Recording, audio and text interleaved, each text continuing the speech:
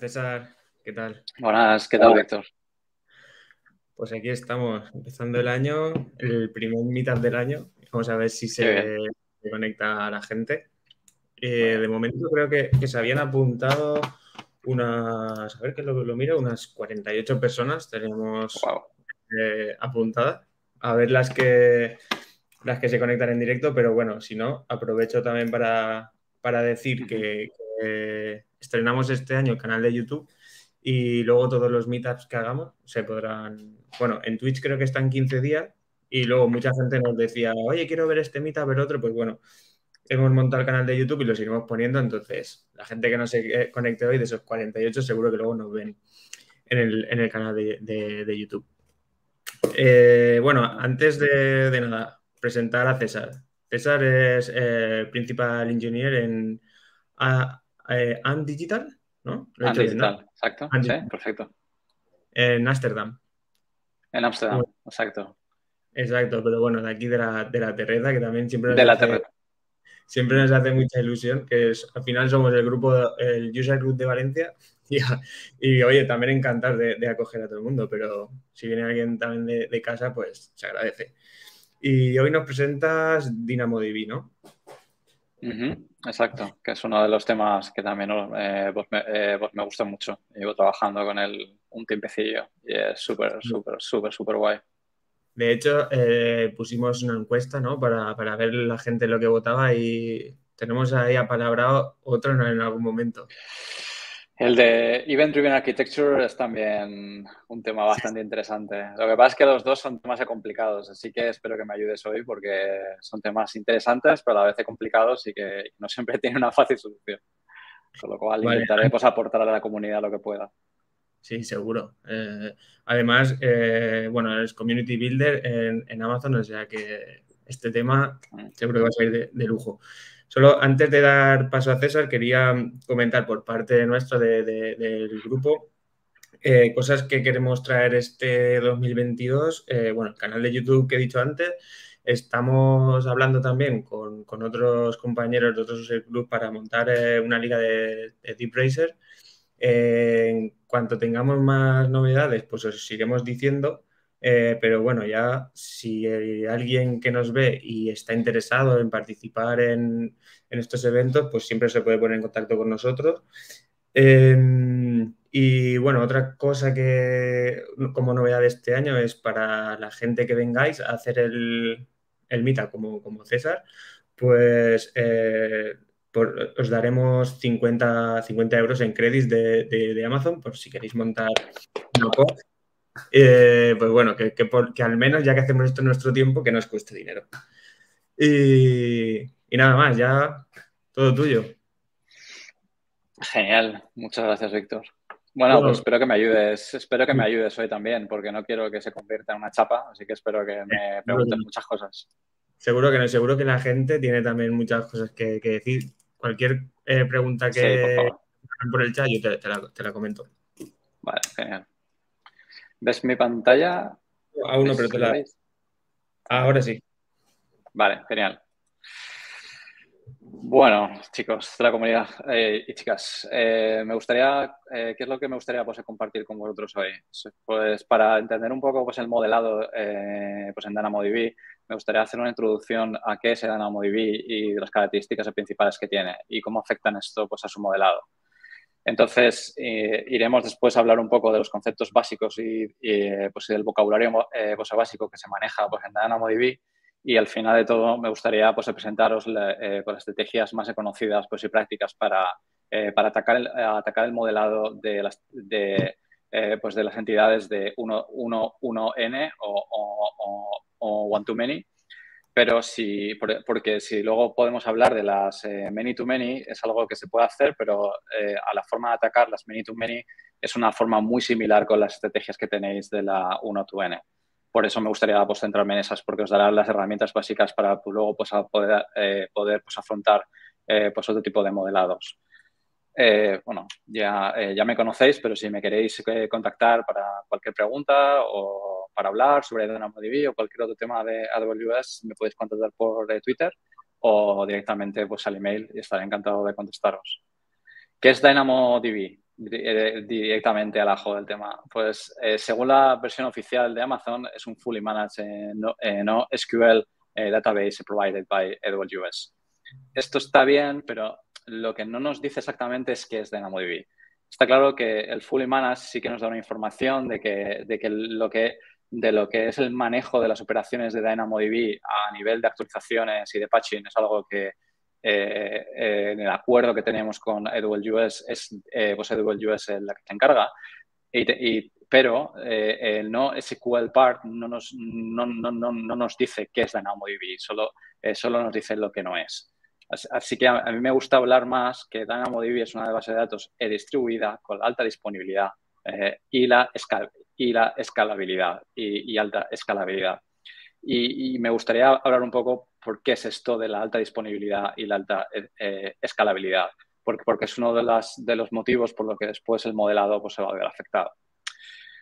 Para, hablando un poco de la historia, DynamoDB pues, aparece la primera vez en el Dynamo White Paper en el 2007. Eh, podéis bajaros el paper que está muy bien y habla sobre la implementación, sobre la tecnología, sobre las motivaciones.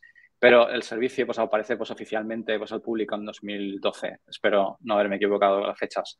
Así que DynamoDB este año cumple su décimo año. En el, paper solo pues, he extraído una, parte que habla sobre que Amazon lo que busca es, eh, que eh, pues Amazon tiene, tiene digamos, que, un parque lleno de aplicaciones que tienen de diferente naturaleza, manejan eh, pues, diferentes pues, entidades y lo que quieren es una tecnología pues, de almacenamiento que sea muy flexible y que además esté, muy... ¿Perdón? No, no, no. Ah, y eh, pues que esté muy cercana pues, a eh, pues, al, eh, pues, al, diseño de aplicaciones. Porque, porque esto pues, se favorece a los que crean pues, aplicaciones para poder crear pues, este pues, modelado y poder tomar la información de la, pues, de la base de datos de la misma forma pues, que, que modelan las aplicaciones. Y, y, además que sea de flexible eh, tiene que haber pues, un balance entre un alta pues, eh, pues availability, eh, porque queremos que nuestra data storage esté siempre live o on, pero que además se garantice un performance a un coste pues, eficiente. Y estos son muchos trade-offs, digamos, o muchos balances o, pues, que tienes que, pues, con los que tienes que trabajar y que afectan al modelado. ¿Cómo funciona básicamente una, una, petición de una aplicación cliente pues, a DynamoDB? La aplicación cliente es una petición pues, eh, pues HTTP, es la diferencia con de datos con otra serie de bases de datos, eh, porque no es una conexión ETCP, lo que, lo que siempre se dice por eso que DynamoDB eh, tiene una conexión muy pues efímera, porque en el momento que se resuelve la petición se cierra la conexión. por ejemplo, en este caso, pues es imaginaros que desde mi aplicación cliente voy a hacer una query y, quiero sacar eh, pues la información de la orden con el ID número uno. Entonces, esta petición entra en un request router que está dentro de la, de la network de, de, de, eh, Amazon y lo, que, y, lo que hace primero este router es que pasa el ID a una, a una función hash. Entonces, en la primera, digamos que estructura de datos que se utiliza para poder hacer el DynamoDB eh, súper eficiente es esta hash table con un coste asintótico si no tenemos que hacer ningún lookup dentro de esta tabla, eh, siempre va a ser eh, eh, pues, constante de 1. Entonces, por el ID sacamos la partición donde va a estar nuestra información, porque la información que está pues, almacenada en nuestro DynamoDB por detrás o detrás de las cortinas, digamos, está pues, distribuida por, por particiones. por eso podemos conseguir pues, una escalabilidad tanto pues, horizontal pues, como vertical. Y entonces, con esta idea, eh, DynamoDB eh, sabemos dónde va a estar almacenada eh, la información. Con la idea sabemos que en este caso está la partición número uno, con lo, cual busca la información en la partición número uno y dentro de la partición, primero va, en algunos casos irá pues, a, la partición, a la, a, la, digamos que a la base de datos canónica, porque en una partición siempre tendremos una parte canónica otra, otra base de datos que sea secundaria y otra secundaria número B, mm, eh, pues depende del balanceo de la carga de las peticiones, irá a una o a, la, irá a, una o a, las, o a las secundarias, o si la primera o si, o si, la canónica se cae, pues todo el tráfico irá a la secundaria. Eh, dentro de cada una de ellas hay un árbol eh, B-tree. Esto es importante porque la información eh, o los ítems que tendremos eh, dentro de esta partición estarán ya posordenados, porque un B-tree es un árbol balanceado en el que la información se guarda ya posordenada. Todo esto pues, se favorece que todo el coste transacción, pues el coste de la petición desde que yo le pido hasta que me lo devuelve es una latencia, digamos, muy corta. Entonces, DynamoDB, si modelamos bien, siempre garantiza o, garantiza que las queries eh, las podamos tener en milisegundos. Entonces, eh, dime. Perdón, una pregunta. Entonces, mm, con la arquitectura que has explicado, ¿no? que, tiene, que tiene Dynamo, ¿está preparado más para un tipo de operaciones que para otra o podemos hacer cualquier tipo de operación? Eh, eh, con DynamoDB siempre, siempre se recomienda que vayamos a hacer queries y no hagamos pues, scans, porque obviamente los scans son bastante más costosos que otros. Podemos hacer eh, pues, lecturas y escrituras, si te refieres a eso. Pero en cuestión de queries, es mejor hacer queries que scans. Pero las queries también van muy relacionadas en las que hayas hecho bien el modelado, porque si no, estás obligado a hacer scans. Pero siempre vas a querer hacer queries porque es lo más barato. Porque también hay, un, hay la parte de coste que tienes que tener en cuenta. Eh, en función de, eh, el tipo de query que hago, query o scan, ya es lo que va a venir a, delimitar el coste, ¿no? Sí, exacto. Ahora pues hablaremos eh, en las siguientes slides sobre el tema del coste y es un tema también importante pues, a tener en cuenta pues, antes de hablar con el modelado. Pero entonces ya cuando hablamos de costes ya puedes empezar a hacer pequeñas pues, modificaciones al modelado para empezar a reducir dinero. Entonces eso también hay que tenerlo en cuenta. Eh, pues sí. Dime. No, no, pues sí, tío, creo que al final te pones a, trabajar con, Amazon, que creo que es, sobre todo cuando estás empezando, eh, de las cosas que más miedo dan a todo el mundo de, vale, esto está muy bien, pero ¿cuánto me va a costar? O se me va a ir aquí claro. dinero. Claro, claro. Sí, por, eh, una de las ventajas que tiene EdenAmoDB, si por ejemplo hacemos un modelado de una única tabla, es que puedes optimizar en mucho el precio.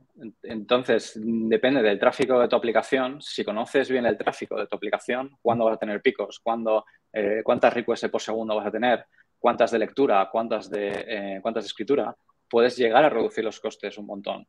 Entonces, es, hay una relación, eh, digamos que bastante fuerte entre el modelado el coste y cómo funciona pues, DynamoDB. Que por eso os quería presentar hoy todos estos conceptos, porque así cuando vosotros vayáis a hacer vuestros modelados de DynamoDB, podéis tener todo esto en cuenta. ¿vale? Entonces, eh, pues espero que sirva un poco para, sentar un poco algunas bases, por si mm. alguien de la audiencia pues tampoco lo sabía antes. Y, si digo algo que es incorrecto, pues, pues por favor decímelo también, porque así yo también aprendo más cosas. Entonces, sí, eh, os, quería hablar que qué pasa cuando hay una petición de escritura, porque es otra de las partes importantes. Cuando, cuando haces una petición de escritura, hace el, mismo tramo de ir al recurse router y decir qué partición va, pero lo primero que hace es que escribe si la canónica, si, la, base, si, la, si la partición, si la parte postcanónica de la partición está, está live, o sea, está bien, está sana, lo que hace es, es, es escribirla ahí. Entonces, cuando la escribe ahí, va a la secundaria A y la escribe. Pero entonces, cuando ya la ha escrito y ya ha hecho el commit de la secundaria A, empieza pues, a devolver la respuesta, como, como que la escritura pues, ha sido satisfactoria. Pero entonces, asíncronamente, escribe la información en la secundaria B. Esto es porque si ahora se cae la canónica y alguien lee, siempre tengo la secundaria A. Pero como la secundaria B está asíncronamente haciendo la réplica, lo que, lo que conseguimos aquí es eh, una consistencia poseventual. Entonces, a veces pues, nos puede pasar que en el momento que hagamos una escritura, eh, puede ser que cuando la leamos inmediatamente, eh, la información todavía no esté disponible o la más reciente. Pero esto es algo normal y cuando hagáis las queries, eh, podéis decirle pues, a DynamoDB, por ejemplo, o cuando hagas los, los writes, que, que, lo haga con una consistencia pues strong, con lo cual esto tampoco va a pasar. Pero la, la consistencia pues, eventual es más barata que la consistencia strong. Entonces, o fuerte, o la consistencia fuerte. Entonces hay que tenerlo en cuenta. Y la más cara es la transaccional, así que por todas, todas espero que no la utilicéis. Con la strong y la eventual, en principio eh, podéis manejar casi cualquier caso. Y, entonces es por esto, por lo que DynamoDB se considera en el teorema, por ejemplo, CAP, que, estaría entre la disponibilidad y la tolerancia de partición. Y, lo que, digamos, eh, estamos sacrificando es la parte de la consistencia. ¿Por qué? Porque si sacrificamos la consistencia, podemos hacer más réplicas, podemos escalar verticalmente y hacer cosas que con una consistencia un poco más fuerte no podemos hacer. Por, eso de, DynamoDB eh, pues asienta entre, entre esos dos pilares. Eh, conceptos básicos. Entramos ya un poco en harina. Eh, eh tabla, dime. hacemos, bueno, tenemos una pregunta, te la, te, la, paso, que nos la hace Nelo, que bueno, no ha podido estar hoy aquí con nosotros, pero está conectado. Entonces nos manda, nos manda esta pregunta. ¿Qué impacto, o sea, y qué impacto en rendimiento tienen las diferentes estrategias? En rendimiento, si, si, las estrategias de modelado las, hacemos correctas y, hacemos queries, que no hacemos scans, lo que quiere decir es que vamos a conseguir un rendimiento de milisegundos en las queries. Y si aún queremos un rendimiento mayor, podemos utilizar el DAX, que es el DynamoDB eh, Accelerator, que, lo, que hará es que tenemos un rendimiento aún mayor. Entonces, en principio, sin ninguna postdegradación, eh, conseguiremos unos rendimientos de queries de milisegundos y también de escrituras de milisegundos. Eh, nos, nos, apunta lo que se, refiere a la persistencia. A la persistencia.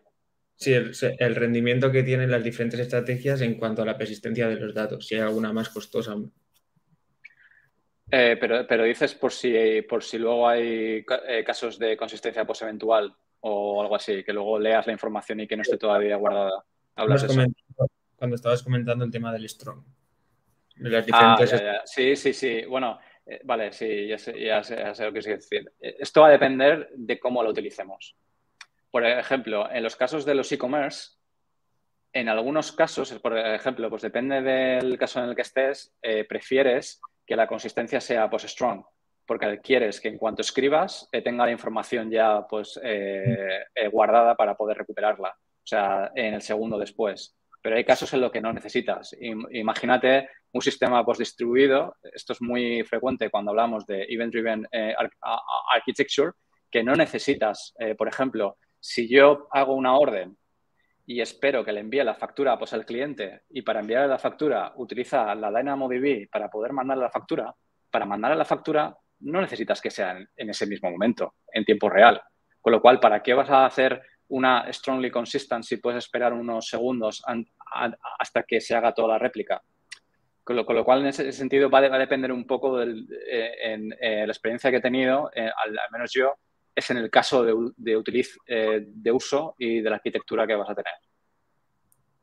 No sé si eso más o menos responde a la pregunta. Pues sí, creo que sí. Sí, perfecto. Vale. Pues entonces, eh, hablando del vocabulario básico, eh, la tabla, la tabla Creo que estás en mute, César. Hemos perdido el, sonido.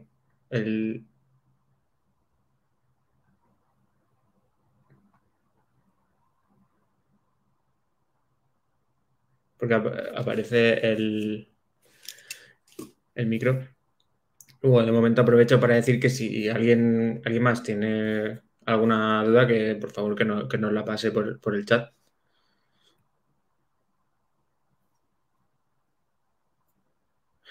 Yo no sé si es. A ver. Ah, el micro se ha desconectado.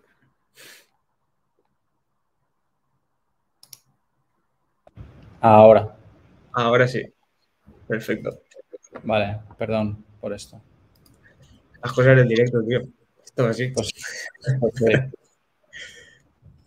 bueno, a ver si recupero el hilo. Pues era eh, la primary key y los atributos.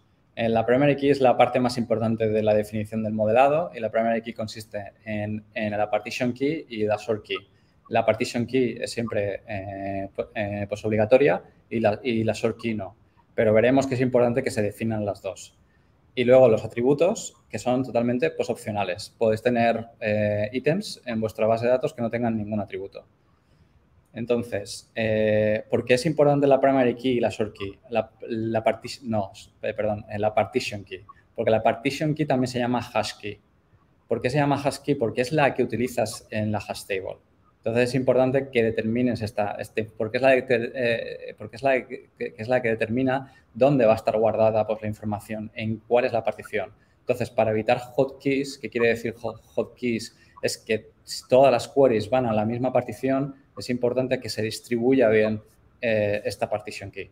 Eh, y luego tenemos la short key o también se llama la range key. ¿Por qué se llama range key? Porque es la que dentro del árbol, eh, la que va a hacer una búsqueda pues, transversal del árbol y, pues, se va a encontrar el ítem que necesitas. Por eso ya la, llaman range key. Cuando programáis en DynamoDB, utilizáis cualquier de los SDKs o de, DynamoDB, normalmente se llama hash key y range key en vez de partition key y short key. Pero a veces, al, menos yo cuando empecé a estudiar DynamoDB, era un poco confuso porque algunos sitios lo llamaban partition y otros lo llaman hash y no se veía muy bien la diferencia. Entonces, la actividad más importante es elegir correctamente la primary key, que al, final es la, composición entre la, la, partition y la short.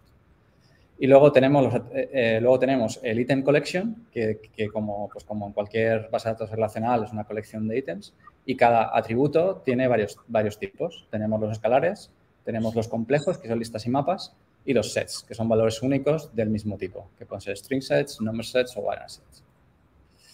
El, el, modo, el, modelado de, el modelo de precios es flexible. Tenemos dos modos, que es el on-demand y el provision. El on-demand, al final, lo que quiere decir es, no te preocupes del número de requests por segundo que me envíes, que yo las voy a gestionar. Entonces, yo escalo. O la provision, que le estoy diciendo hasta dónde quiero que escale, tanto para la lectura como la escritura. Y la, eh, pues el provisionado es lo más barato que hay porque puedes ajustar al tráfico que tienes, pero tienes que saber en qué consiste. Entonces, eh, el, provisionado, pues, digamos que manual, tiene, eh, tienes que poner cuántas capacity units vas a utilizar para lectura y cuántas de escritura. Lo que quiere decir cuántas requests por segundo de lectura y cuántas requests de segundo por escritura vas, a, vas a usar. Pero esto, ¿qué es lo que representa una capacity unit? Una capacity unit en la lectura significa una, una lectura con consistencia fuerte hasta 4 eh, kilobytes o 2 de consistencia pues, eventual hasta 4.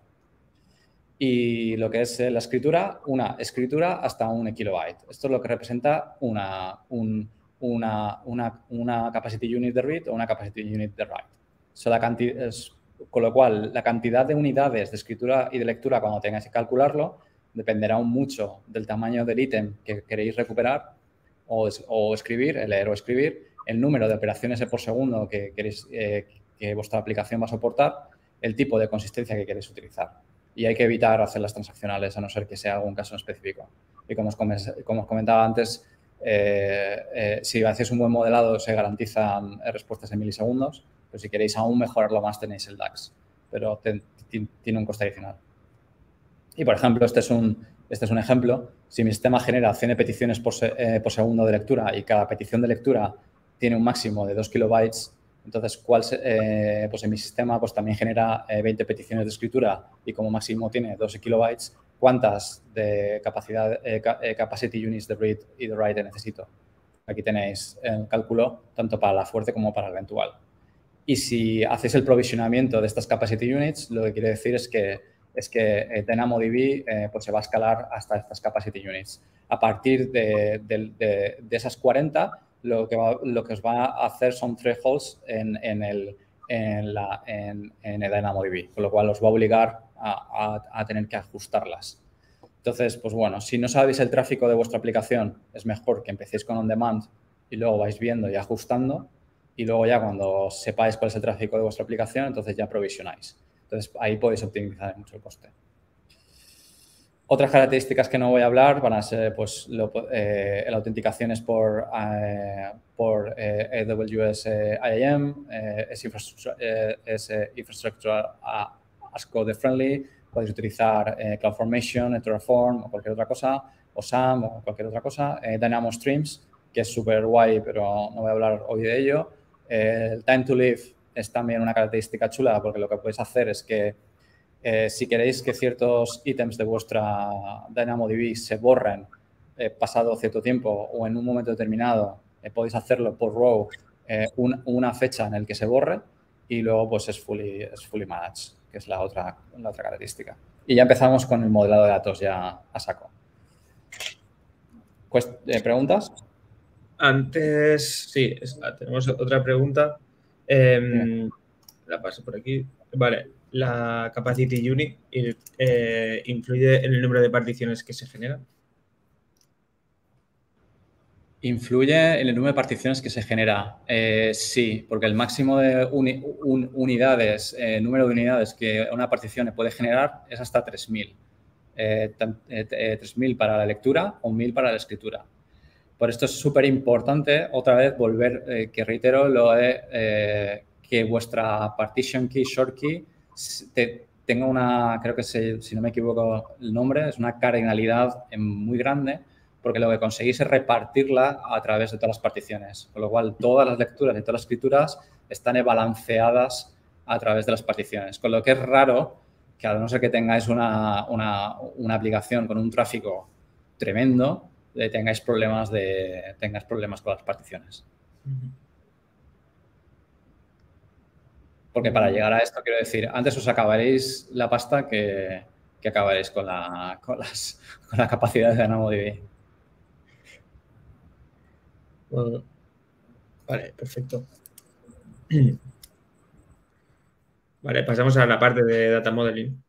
Sí, eh, aquí voy a simplificar un montón y, espero que me perdonéis porque os quiero dar un ejemplo muy, muy claro. Entonces, a partir de ahí podéis crear, porque todos los, todos los casos más complejos se pueden crear a través de esto, con lo, cual por eso voy a simplificar aquí un montón. Entonces, eh, paso a paso. Primer paso, entiende la aplicación. La aplicación, en este caso, tengo una, lista de squads, por ejemplo, eh, dentro, si, hablamos de un equipo de pues, ingeniería, y los miembros o developers, por ejemplo, de este squad. Esta es mi aplicación. A lo mejor tengo una UI, que lo que quiero es una aplicación móvil, que lo que quiero sacar es la información de mi squad y, la, y todos los miembros pues, asociados a mi squad. Con lo cual hay una relación entre 1M. Uno, uno, uno eh, primero, creo el diagrama pues, entidad-relación. Solo únicamente lo creo porque quiero saber las entidades que voy a tener. Pero me tengo que acostumbrar a que en DynamoDB no tengo que normalizar. Lo que tengo que hacer es denormalizarlo. Porque cuando lo denormalizo, entonces puedo sacar el patrón que necesito para mi DynamoDB. Con, lo cual, lo, siguiente importante o la actividad siguiente que tenéis que hacer o que es recomendable hacer es que escribáis los patrones de acceso. ¿Qué son los patrones de acceso? Los patrones de acceso es cómo voy a acceder a la información. Entonces, tenéis dos formas de trabajarlo. Desde el API Centric Approach, que lo que quiere decir es que eh, si, por ejemplo, mi aplicación eh, tengo un, un, API, eh, Gateway y accede directamente a, la DynamoDB, lo que quiero es que mis endpoints se parezcan lo más posibles a mi DynamoDB, porque entonces puedo acceder a la información mucho más rápido, no tengo que hacer mapeos, no tengo que hacer nada. O lo puedo hacer UI-centric approach. Lo que quiere decir es si tengo una aplicación móvil y en una pantalla tengo la información del squad y la lista de miembros, entonces lo que quiero recuperar es la, información específica para esa UI. No quiero recuperar, no, no quiero hacer un overfetching. Entonces, digo, vale, pues recupero la información, eh, mis, eh, mi patrón de acceso para mi aplicación es recuperar la información del squad y sus miembros o recuperar la información de un squad en concreto. Entonces, lo, siguiente es el modelado de, mi, de, mi, de Cuando creéis la tabla, es importante que al nombre de atributo de partition key y short key lo llamáis PK y SK, en principio. ¿Por qué? Porque os va a ser mucho más flexible. Porque en DynamoDB, si hacéis un diseño de una única tabla, vais a tener más de un tipo de ítem en la misma tabla. Entonces, si lo llamáis de forma abstracta, los atributos de pues, indexación, que se llaman así, que es el partition key y el short key, después no vais a tener que asociar, por ejemplo, no, no le llaméis squad name pk o squad name sk, porque entonces ya estáis un poco eh, eh, cuando, queráis eh, recoger la información va a ser un poco confuso que dentro del squad name le metáis el ID del miembro, ¿vale? Entonces, pues bueno, pues como es confuso, es, mejor para mantener la flexibilidad llamarlo de una, de una forma pues, abstracta. Y una de las cosas que se hacen es para modelarla usar el nombre de la identidad y la almohadilla y el atributo clave de esa identidad. En este caso he elegido simplemente y el atributo clave es squad name y en el caso del el short key es el member, es, es, el member ID. Con lo cual, para mi entidad squad, tengo la PK y el, SK definida y para mi miembro también tengo el, PK y el SK. El key overloading es porque como los atributos de, de, partition key short key los llamo PK y SK, podemos usarlos para referenciar eh, diferentes tipos de entidad. esto se llama key overloading y que también es muy beneficioso en, nuestro caso. Entonces, eh, si, si, si, siguiente cosa que vais a hacer es separar los atributos de indexación de los de la aplicación. ¿Por qué? Porque cuando yo, yo imaginaos que pues inserto el squad. Mi PK es el squad a platform, mi SK es el meta, le llamo metadata porque no lo puedo repetir, con lo cual le llamo metadata a platform y el squad name y el creation name. El app platform ya, ya forma parte de mi partition key. ¿Pero por qué lo duplico? Porque quiero separar mis atributos de indexación de los de la aplicación. Porque imaginaos que en el futuro quiero pues exportar los datos. Pues entonces, cuando los, cuando lo exporto es mucho más sencillo dejar aparte los atributos de posindexación simplemente para hacer las queries. Entonces, cuando, aunque, aunque me devuelva en algunos casos la misma información, siempre va a ser luego más fácil para tratarla. ¿vale? En, eh, eh, vez de tener que mapear lo que tengo dentro de la, de la PK y el SK para poder sacar mis atributos de mis, lo, que, lo que es las keys de la, de la aplicación, como en este caso es el squad name. Y, hago lo mismo para, los miembros del squad. Siempre creo un atributo que se llama, se llama en este caso POSID y le pongo lo mismo que los atributos de posindexación. Y, aquí es el primer, la, primera técnica básica, que es el primary key compuesta. La primary key compuesta eh, se trata de una partition key, una short key, en el que, en el que, en el que, utilizo el, el, el, nombre de la entidad, el almohadilla, más el, atributo, el, atributo, digamos que clave. El, diseño de una única tabla, como es este, por ejemplo, porque normalmente las tablas relacionales no puedes hacer esto de una forma sencilla, es simplemente porque no tenemos que hacer joins. Porque cuando es, eh, bueno, es uno de los motivos, no solo ese, pero es uno de los beneficios.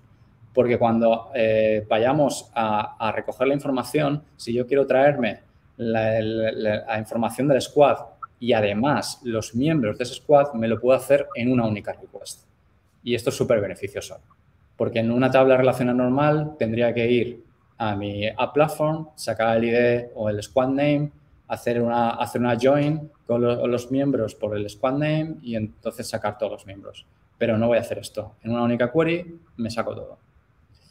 Eh, tengo, menos, tengo menos monitoreo porque es una única tabla y también ahorro costes porque puedo controlar cuál es, cuál es el provisionamiento. Con lo cual también controlo eh, las escrituras y las lecturas. Las desventajas, tengo que aprender patrones, tengo que um, saber técnicas de cómo manejarla, con lo, con lo, cual hay una curva de aprendizaje.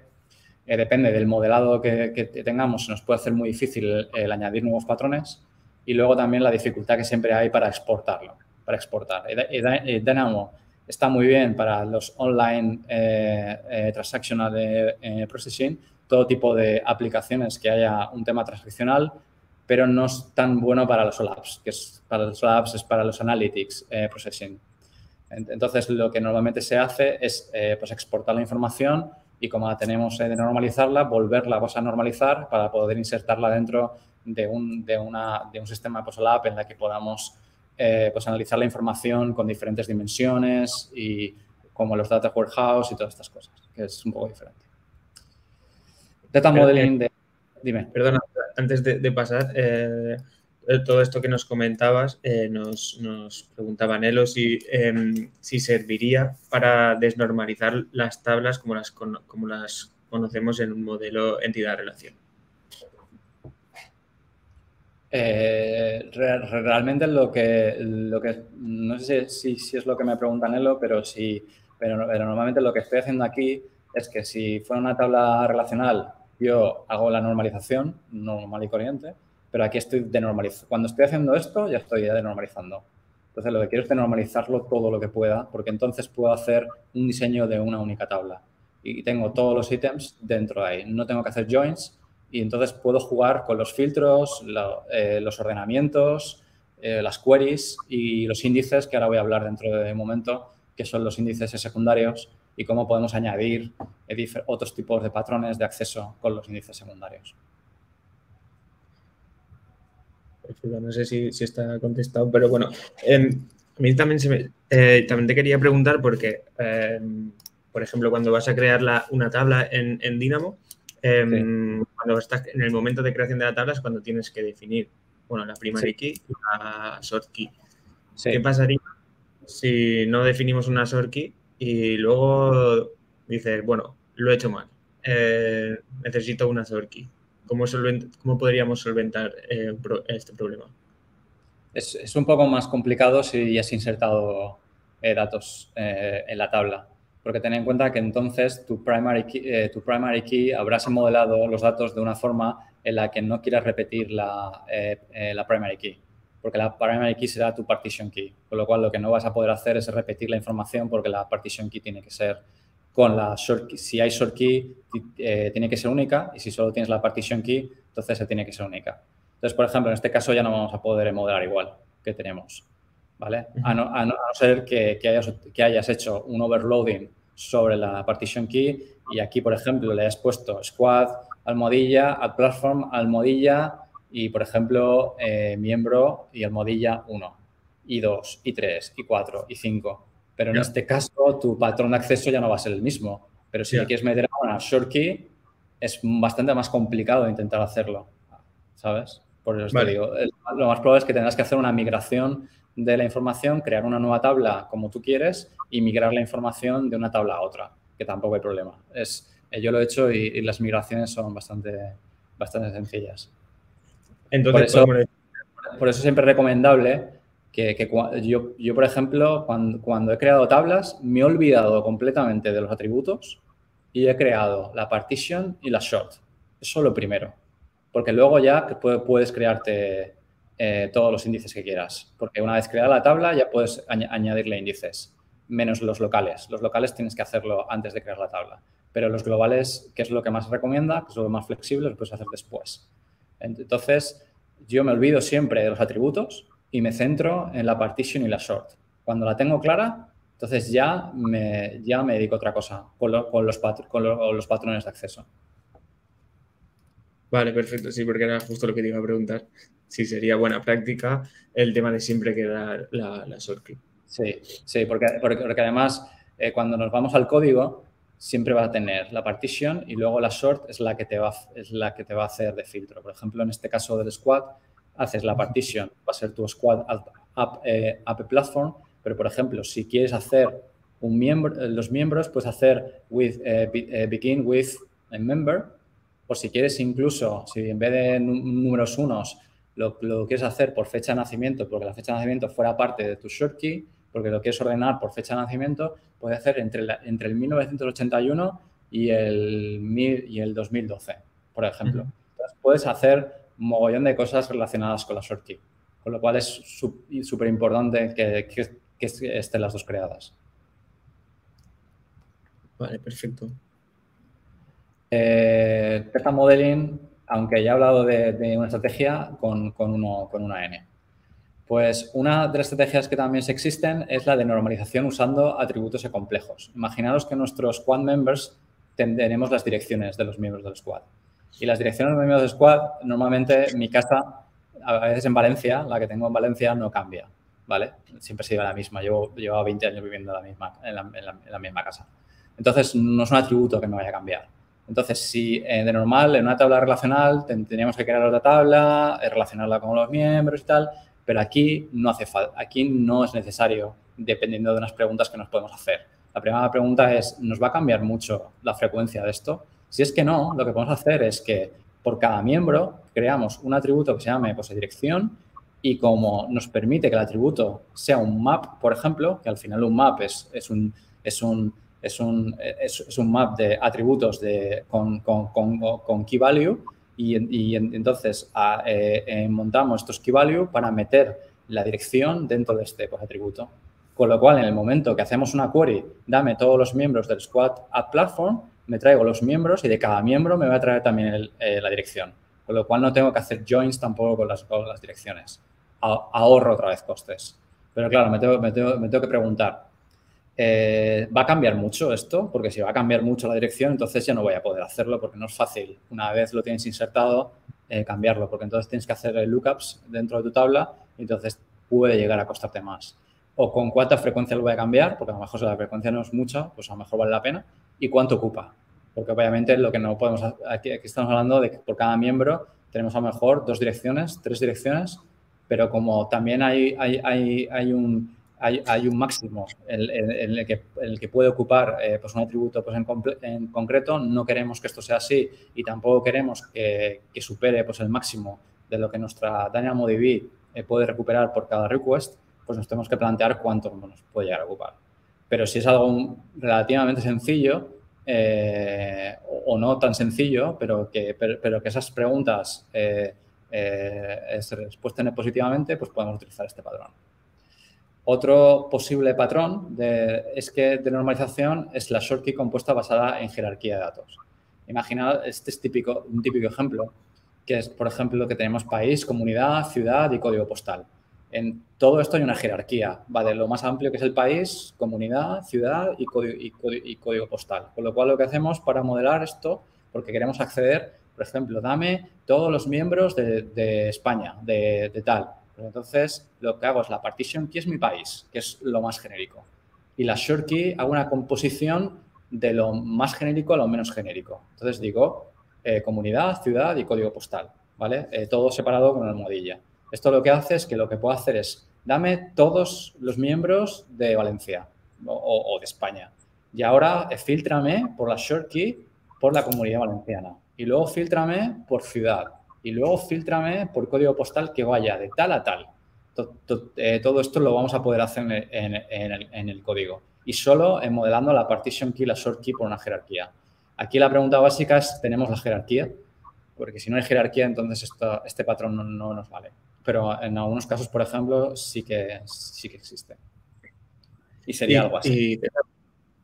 una pregunta. En esta jerarquía que, comentabas, ¿hay algún límite, por así decirlo, eh, eh, relacionado con buenas prácticas? Pues eh, como máximo mm, tres, de tres niveles o dos niveles, no sé.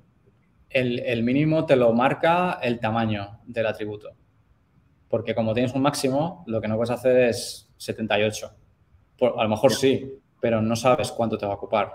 Entonces, lo que no quieres es que te supere el máximo del ítem, ni del ítem collection, ni tampoco el máximo del atributo. Entonces, eh, de todas formas, hay que pensarlo. ¿En cuántas aplicaciones tienes una jerarquía tan grande?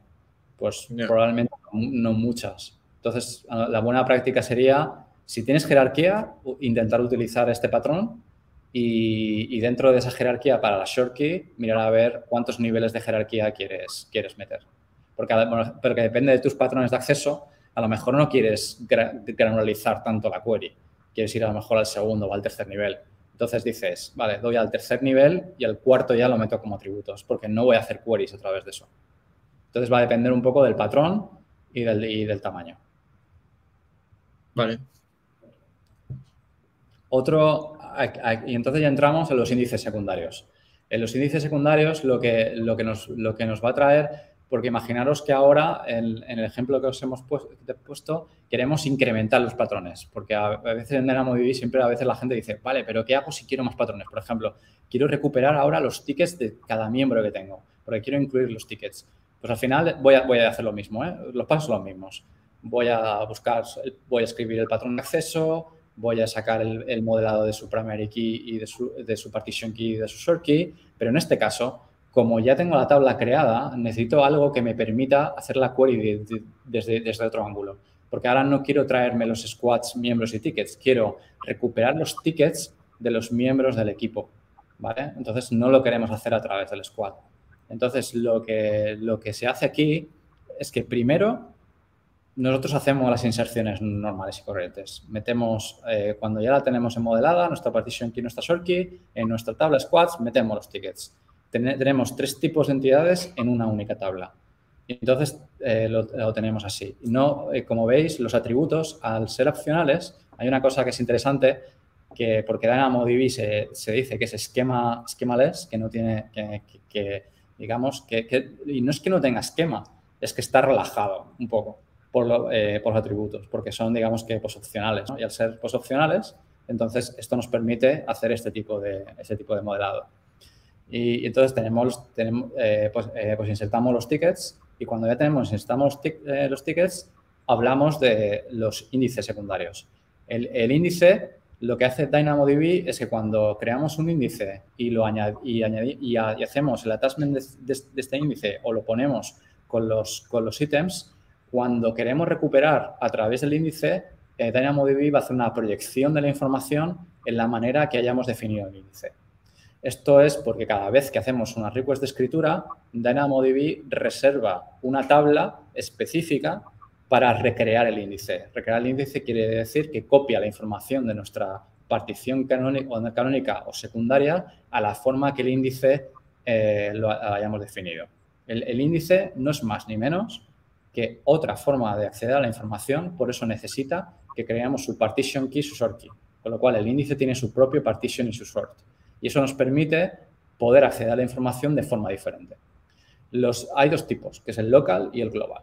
El, local, el problema que tiene es que tiene que estar creado a la vez que creamos la tabla. Con lo cual, una vez creamos la tabla, ya no vamos a poder crear este índice otra vez. Y la segunda dificultad que tiene es que la partition key del, índice es la partition key de la tabla. Con, lo cual, nuestro nivel de, digamos, de patrones se reduce. La global es un poco más cara porque necesitamos provisionar los capacity units también, tanto de escritura como de lectura, a la global, porque en realidad es una, es una partición en sí misma. Lo único es que está organizada de forma diferente y la accedemos de forma diferente, pero, al final es su propia, es su propia tabla, con lo, cual tenemos que provisionarla igualmente y entonces nos, va, a tener un, coste, un coste adicional y solo admite consistencia pues, eventual. ¿Por qué? Porque hablamos de lo mismo. Sistemas distribuidos, escritura, se, va, se, va, se va a la partición, lo graba, pero se va a hacer de forma posasíncrona y, y, no y no necesariamente en ese momento la vamos a tener que recuperar, con lo cual se aprovecha la consistencia poseventual. Y entonces, si utilizamos los, los... Ah, bueno, y se pueden crear, importante, en cualquier momento. Y eso es lo que da la flexibilidad. En cualquier momento podemos crear índices globales. Entonces, eh, hacemos lo mismo que hacemos con la partition key, la short key principal de la tabla, para, los índices globales. Eh, le damos un nombre súper abstracto, SG, GSI1, SPK, GSI1, SK. Eso nos permite poder reescribir otra vez para diferentes tipos de items, ¿vale? Entonces, hacemos lo mismo, la modelamos y añadimos los índices como atributos de indexación a nuestra tabla principal y nos quedaría una cosa, nos quedaría una cosa así, ¿vale? Entonces, esto al principio parece un poco de decir, ostras, ¿cómo es esto? ¿Por qué le añado a mis, a mis items eh, los índices globales? Pero cuando hago ahora lo que, si os fijáis, cuando quiero, digo, vale, ahora quiero que me traigas del Squad Platform a través del índice todos mis miembros o todo el Ad Platform con sus miembros y además sus tickets. Entonces, si vemos cuál es la proyección del índice, es algo así. El, índice sería, por cada, por cierto, hay un, hay un error porque no es el miembro 1.1, sino el miembro 1.1.2, por ejemplo, pero a lo mejor en este caso solo quiero traerme el miembro número 1, entonces hago squad 1, a platform, miembro número 1. Le tráeme todos sus tickets y me traigo todos sus tickets y además me traigo la información de, eh, del miembro del equipo y además del, y además del squad. Con lo, cual, en una query sin joins, me estoy trayendo todo. Y, resuelvo el, esquema que tengo aquí.